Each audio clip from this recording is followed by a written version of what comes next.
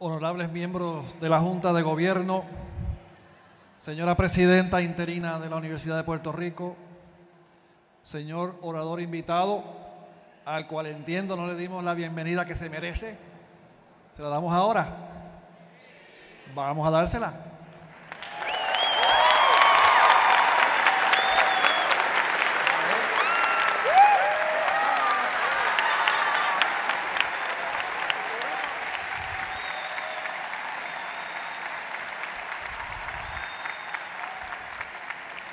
Señor José Méndez, presidente del Sistema Educativo Ana G. Méndez, señoras y señores rectores de la Universidad de Puerto Rico, señores miembros de los cuerpos administrativos de las unidades institucionales del sistema, miembros de la Junta Administrativa, Senado Académico y claustro del recinto de Mayagüez, señores representantes de la clase graduanda del 1966 que nos apadrinan hoy, padres y familiares de los jóvenes graduandos, pero más que nada mis queridos graduandos colegiales. Estamos haciendo historia. Me siento sumamente honrado de celebrar la primera colación de grado que se realiza en un mes de enero en la historia del recinto universitario de Mayagüez. Además, me enorgullece ser parte de uno de los momentos más significativos de sus vidas, su graduación de la universidad, porque sé que ha sido monumental el esfuerzo que han hecho para poder estar sentados en esa silla hoy, ataviados con su toga verde colegial. Por cierto, se ve muy bien.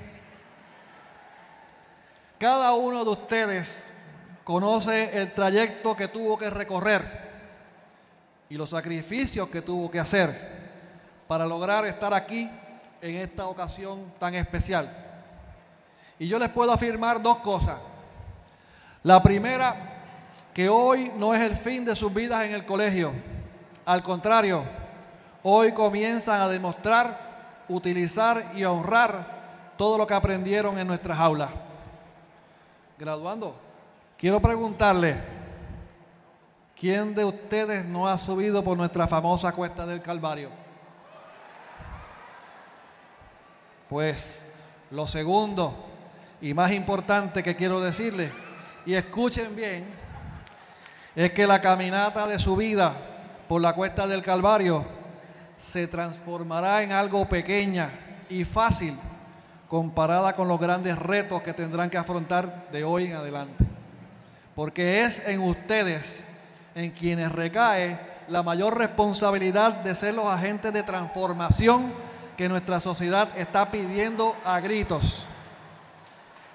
Nosotros, por nuestra parte, intentamos construir un camino para que el trayecto de ustedes, nuestros queridos estudiantes, fuera menos árido. Quisimos crear un espacio de convergencia entre su quehacer académico y el arte, y lo logramos con la apertura de nuestro anhelado MUSA y con la obtención de subvenciones millonarias que validan la calidad de la investigación que aquí se genera en el Colegio de Mayagüez, entre otros importantes sucesos.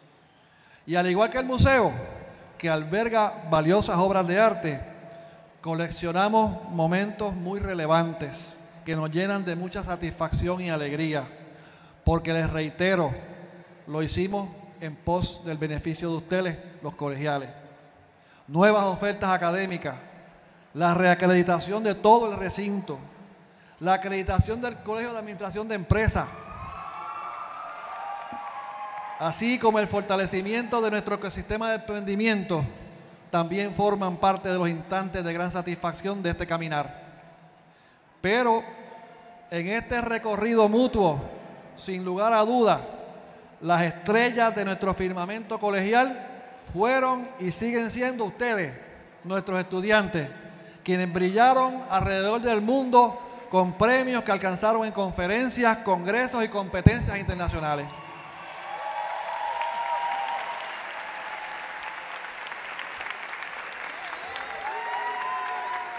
Sin olvidarme de mis atletas, mis tarzanes y mis, y mis juanas quienes alcanzaron históricos campeonatos y grandes victorias y dieron el todo por el todo para representar los colores verde y blanco de nuestra institución. Asimismo, nuestro campus se vistió de gala para recibir figuras de renombre internacional, como la jueza Sonia Sotomayor, el actor Benicio del Toro y el jeque verde de los Emiratos Árabes. Esta colección de eventos, que incluyen muchos más, fue posible gracias al compromiso de ustedes, los alumnos, de mis compañeros profesores y del personal no docente, quienes día a día demuestran su compromiso con nuestra centenaria misión, forjar profesionales de excelencia como ustedes, que ahora se convierten en parte del selecto grupo de egresados del Colegio de Mayagüez. Recuerda, como dijeron ahorita, que son muchos los llamados, pero pocos los escogidos.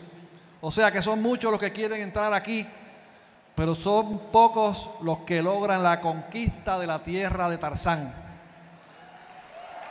Ustedes pertenecen a ese grupo de conquistadores. Decía Winston Churchill, el más célebre ministro del Reino Unido, durante uno de sus más recordados discursos ante el Parlamento británico, que para la construcción de un gobierno como el de su país, lo único que él tenía para ofrecer era sangre, esfuerzo, lágrimas y sudor, con el objetivo de la victoria en mente.